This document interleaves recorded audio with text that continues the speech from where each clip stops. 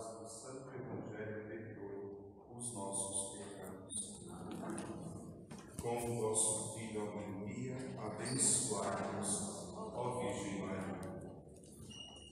Os caros, nós estamos meditando a virtude da esperança.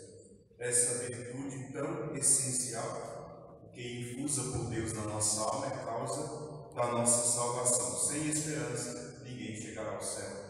Essa virtude maravilhosa nós devemos meditá-la. Estamos meditando desde a segunda-feira. Na segunda-feira nós falamos sobre a natureza dessa virtude e meditamos também sobre o seu papel. Meditamos depois também na segunda-feira sobre os auxílios que essa virtude concede à nossa alma. Ontem nós meditamos acerca dos motivos da nossa esperança, o que nos leva a ter esperança, dos, das propriedades e dos meios, dos efeitos. Nós dizíamos ontem que por quatro motivos principais nós esperamos. Esperamos primeiro porque Deus fez promessas, e sendo Ele que prometeu, sendo Ele fiel, Ele haverá de cumprir. O segundo motivo é que nosso Senhor veio para salvar e Ele quer salvar. Quando nosso Senhor aparece a Santa Brígida, ele diz isso, que um dos grandes desejos do coração dele, o coração dele bate por isso, dizia o mesmo a Santa Gertrudes. No coração dele existem duas batidas. Uma é o desejo incessante de salvar, e a segunda batida é o desejo incessante de ser reparado por aqueles né, que amam a ele. Portanto, ser reparado, ser reparado no amor insalvável, é o desejo de Jesus. Então, o motivo que também nos faz esperar é que nós sabemos Ele quer nos salvar. Não porque nós merecemos, mas porque Ele quer. O terceiro motivo está vinculado a esse, que é o poder que a cruz deu à nossa esperança. Nós esperamos naquele que venceu a morte, naquele que foi crucificado, o preço que ele pagou. E por último, dizíamos que o grande motivo, o belo motivo da nossa esperança é Nossa Senhora.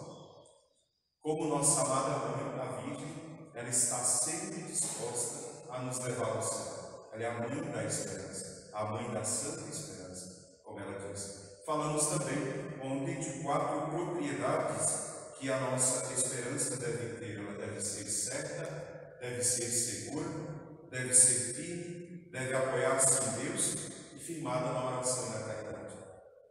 Por fim, nós falamos dos efeitos dessa virtude na nossa alma três efeitos, eu dizia ontem, a virtude produz na nossa alma. O primeiro é que ela nos alcança tudo.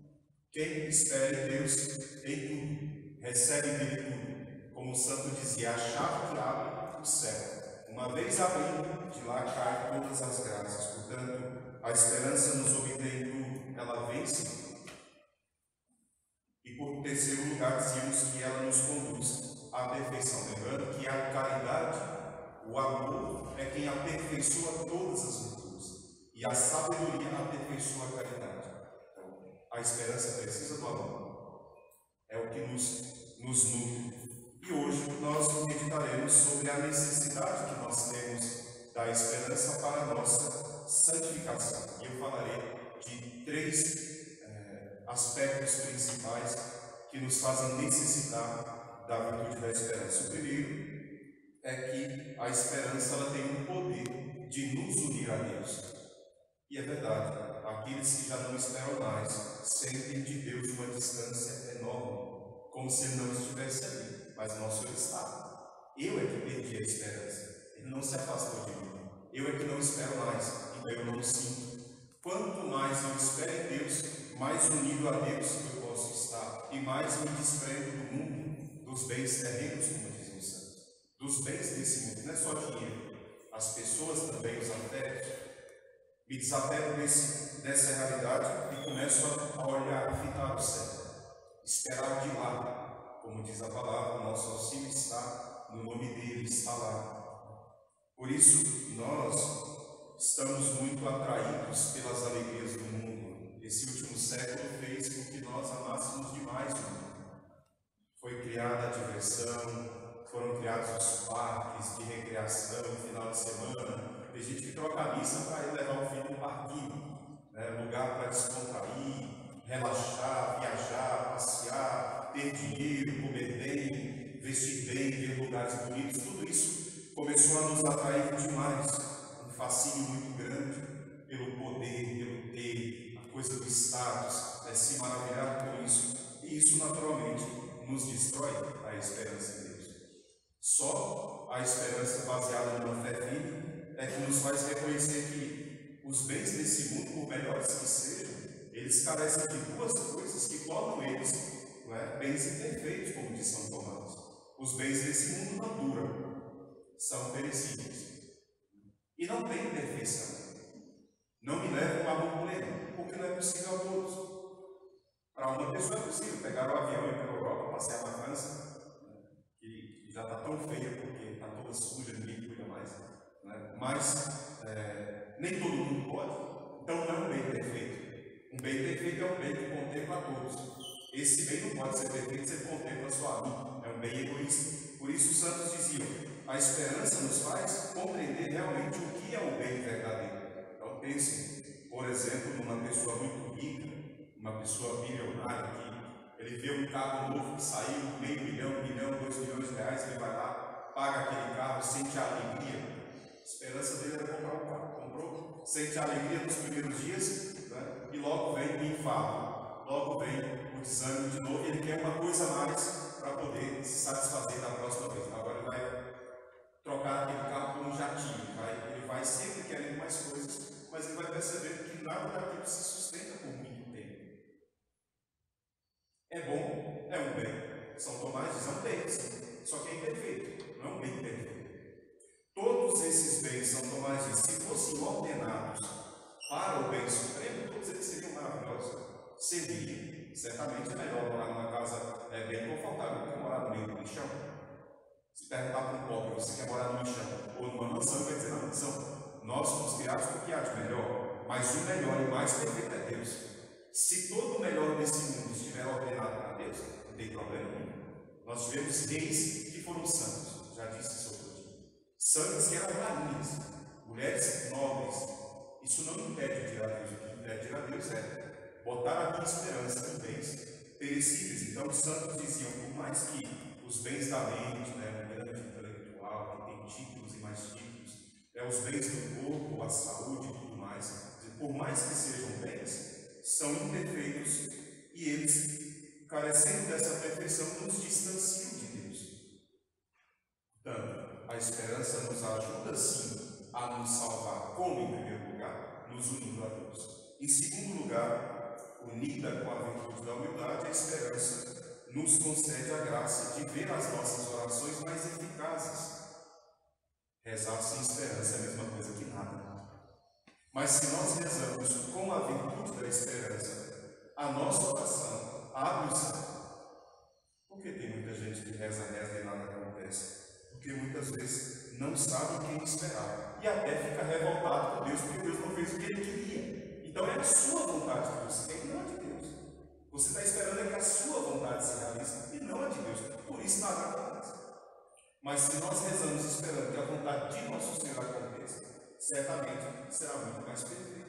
Ontem alguém dizia que está brigando com Deus, revoltada com Deus, porque Deus não faz o que ela fez. Eu disse, realmente, Deus não fará a sua vontade. Você não é o Deus dele. Ele é que é o seu Deus. Portanto, é a dele que nós devemos fazer. A palavra de Deus diz, não é, no livro do Eclesiástico, que nenhum daqueles que confiam no Senhor foi confundido. Nenhum daqueles que depositou a sua confiança nele veio enganado. Pois quem foi abandonado após ter perseverado em seus mandamentos, quem foi abandonado por Deus se viveu os mandamentos de Deus? Ninguém. Dizíamos ontem, anteontem até, do auxílio que Deus nos dá de perseverar na hora da morte, de morrer bem, morrer em Deus. Portanto, continua o Eclesiástico. Quem é aquele cuja oração foi desprezada? Aquele que esperou no Senhor? Deus é cheio de bondade e cheio de misericórdia se nós esperamos nele, nós não seremos confundidos, é o que a palavra diz. Então, às vezes, não acontece. Não é porque Deus não é bom e não seja rico, é porque eu estou esperando mais que a minha vontade se faça do que a de nosso Senhor. Certamente não me obedecerá. Nosso Senhor no Evangelho mostra isso. Quantas pessoas confiaram nele e o quanto ele foi fiel. quantas passagens bíblicas é, existem de milagres que nosso Senhor fez. Me lembro daquele centurião romano, um homem rico que tinha vários empregados. Quando ele vai a nosso Senhor, e nosso Senhor diz: Eu vou lá para curar. Ele diz: Não, Senhor, basta que o Senhor diga uma palavra e ele será curado. Não precisa nem o Senhor ir em casa, eu acredito. Eu espero que a sua palavra vai chegar lá. Quando ele chega em casa, o empregado vem no caminho, se encontra com ele e diz: Olha, ele ficou curado. E ele diz: Que hora foi? Foi na mesma hora em que ele falava com o nosso Senhor. Quem confia nele, quem espera nele, não é confundido. Várias outras passagens, séculos de Jericó, que eles esperavam em nosso Senhor. Depois, não há nada que honre tanto e agrade tanto ao coração de Deus que a nossa confiança nele. Ele diz a Santa Faustina: o que me fere não são os pecados, o que me fere é a falta de confiança que eles têm na minha misericórdia. Se eles confiassem, poderiam vir até mim, mergulhar os seus pecados que fossem mais escuros do que o escarlate. Pecado. Poderiam mergulhar na minha misericórdia e sairiam limpos, mas não confiam em mim.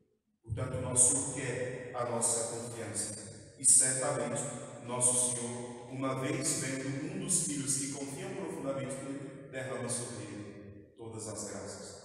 São Paulo, um dia, por orgulho, quis que Nosso Senhor tirasse dele uma tentação. Nosso Senhor disse: Não vou tirar, não. Basta que a minha graça, você vai ter que confiar. Porque São Paulo, ele padecia de orgulho. Foi um grande santo, mas a tentação dele era contra um maldito orgulho. E Nosso Senhor quebrou o orgulho dele na humildade, no sofrimento. E disse: Vai ter que esperar em mim, confiar em mim. No fim da vida, São Paulo prega isso para nós. Eu mesmo, ele diz, não me julgo nem a mim, deixe que ele julgue. Eu vivo em Cristo e ele vive em mim. E o resto, para mim, já não significa mais nada. O mundo já não serve mais, a filosofia já não é mais nada, a sabedoria do mundo não é mais nada. Eu só tenho a Cristo e Cristo crucificado. Terceiro, em terceiro lugar, a nossa esperança se torna para nós um princípio fecundo da nossa vida espiritual. Isso é muito importante, porque nós não desejaríamos o céu se não fôssemos alimentados por uma santa esperança. Tem gente que quer desejar o céu só com a própria razão. Isso não é possível. Desejo santos, desejo de rezar mais, desejo de adorar mais, de comungar mais, não nasce de nós, de nós mesmos, nasce de Deus.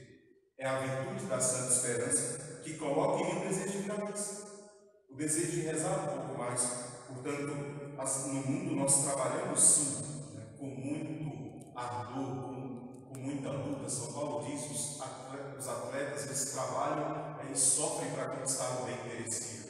Nós desejamos bens merecidos. E esse desejo que planta em nós é Deus. Santo Agostinho chama de santa inquietação, anseio anelo por Deus. Portanto, é a esperança que nos dá a coragem para triunfar sobre os males desse mundo e dos demônios e manter a nossa vida de oração.